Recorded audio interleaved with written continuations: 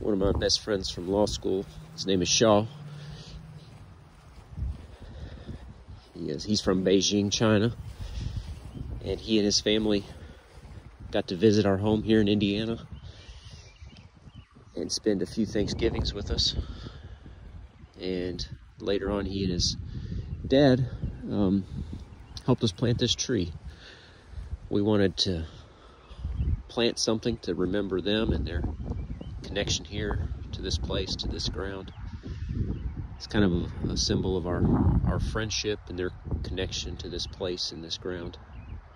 And this is the tree. We planted this in 2017, so it's a little over six years old now. And I think of uh, Shaw and his family every time I come out here and see it. I hope someday our kids can share the shade under this tree.